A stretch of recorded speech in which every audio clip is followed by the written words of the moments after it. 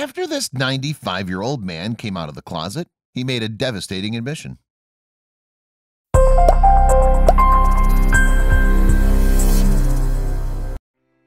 Back in 2016, Roman Blank made a life-changing revelation to his family. The great-grandfather, who was 95 at the time, summoned up the courage to come out as gay. And off the back of that incredible moment, Roman then shared a heartbreaking confession in an interview on YouTube the following year.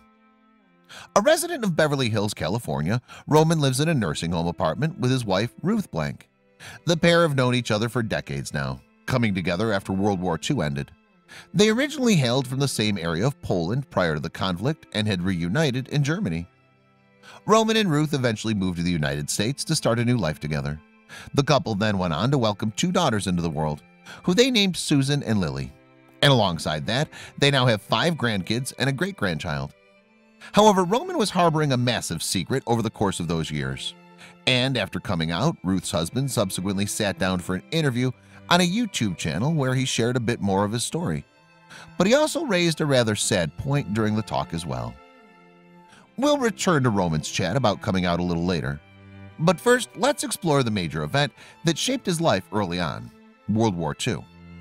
The conflict began in 1939 after Nazi Germany invaded Poland, causing Britain and France to declare war on the former country. Subsequently, an alliance of countries banded together to take on Germany and its Axis allies. In the end, the Nazis were eventually defeated in May 1945, but they'd already caused untold damage across Europe. And sadly, Roman and Ruth saw that horror firsthand, as we're about to discover. As we previously mentioned, Roman and Ruth lived fairly close to each other in Poland before the war began. Their families hailed from nearby towns, with the former growing up alongside three siblings. As for his future wife, she had a brother and two sisters, but the similarities didn't end there. For you see, during Roman's youth, his dad passed away. The same thing also happened to Ruth, too, and it left her family in a very difficult financial position. Unfortunately for them, they became penniless after her father's death, and the problems would only get worse when the war started in 1939. It wasn't just Germany which invaded Poland. The Soviet Union also attacked the country from the east. As a result, Ruth's clan soon found themselves in a work camp in Siberia. Roman, meanwhile, was able to escape his home country with his brother, but they faced a heartbreaking decision. After receiving Russian visas, the siblings were forced to abandon their mom and sisters. Thankfully for Ruth and her family, they weren't sent to any of the concentration camps over the course of the war. So they eventually went back to Poland when the conflict ended, as did Roman. However, he was hit with some devastating news upon his return to the country of his birth. In a tragic turn of events, Roman discovered that his mom and sisters had been killed. Although the timing of their deaths couldn't be confirmed, it's believed that it might have happened at two different points. The first suggestion was that the women were murdered before being sent to one of the concentration camps.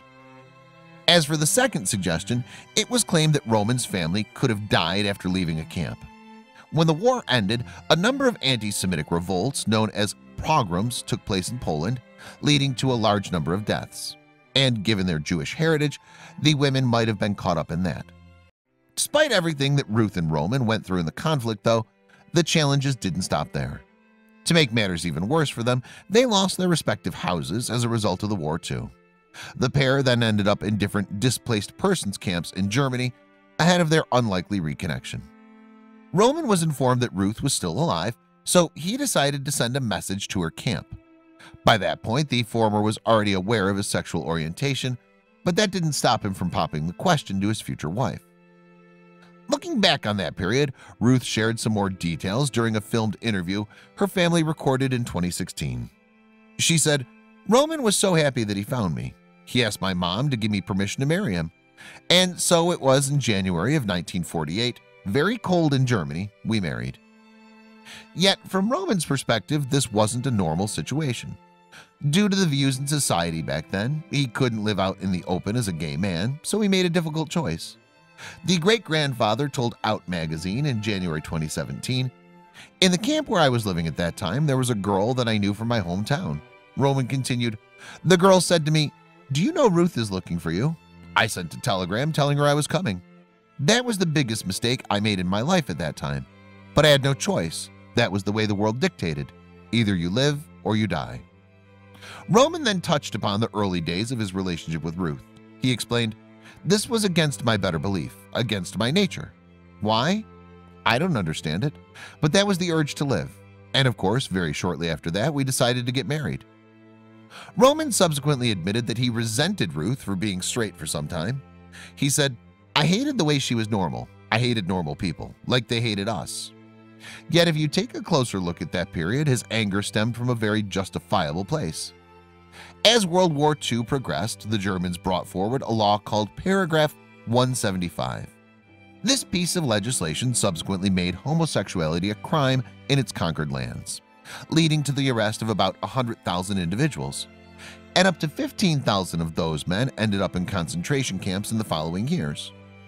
However, that didn't stop Roman from experiencing his first sexual encounter while living in Poland as a young man. He then later formed a secret relationship with a next-door neighbor during his stint in Russia. But sadly for the two men, it all ended in tears. Roman told the publication, I knock on the walls, he knocks, I knock back, he came in. I loved him so much that son of a bitch government took him away to the army. In the war, he probably got killed.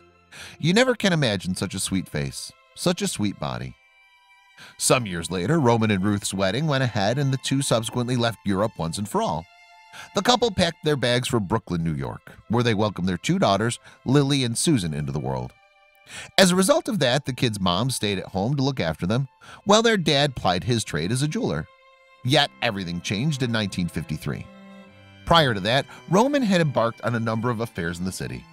To maintain the secret, he told her that he was visiting a local bathhouse, but his wife caught him out one night. She contacted the aforementioned facility to check on him and discovered that he wasn't there. Ruth subsequently approached Roman when he returned home. Looking for an answer, he revealed to Out, Of course, I told her that I was gay. What else could I do? She made up her mind. She had no choice because the kids were number one. She kept it together. I was brokenhearted all those years, Ruth admitted during her video interview. I sacrificed my life for my children. I had the children. I wanted them to have a father. We stuck together. Now at this point, we're 96. We love each other. We've lived together for 65 years. 65 years I've lived like that. Ruth and Roman then went on to live with the latter's secret for the next six decades, with their family none the wiser. Yet it didn't prove to be easier for his wife, as she went on to explain. In the recorded family video, she said, It came to the point where we should have split.